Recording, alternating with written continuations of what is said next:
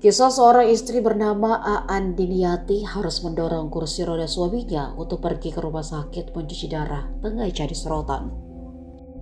Aan harus mendorong suaminya Nur Rahman menggunakan kursi roda sejauh 10 km yang mengidap sakit gagal ginjal dan mengharuskan mencuci darah. Menurut pihak Kepala Dusun 1 Desa Kertabesuki, Didi Suwandi keluarga Aan tergolong warga miskin Aan sehari-hari adalah seorang pengamen jalanan untuk bertahan hidup. Ia biasa mengamen keliling hingga ke pasar-pasar. Aan dan suaminya telah terdaftar sebagai penerima bantuan langsung tunai atau BLT dari pemerintah.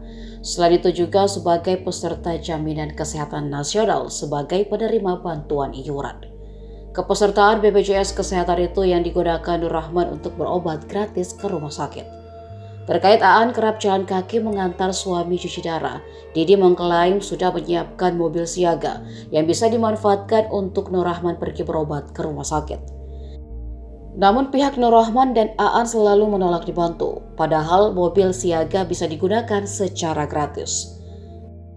Aan Diniyati mengaku sejak 2018 berjalan mendorong kursi roda sejauh 10 km bolak-balik mengantarkan suaminya Nur Rahman dari rumahnya di desa Kertabesuki berobat ke rumah sakit Bakti Asi, Kabupaten Brebes, Jawa Tengah.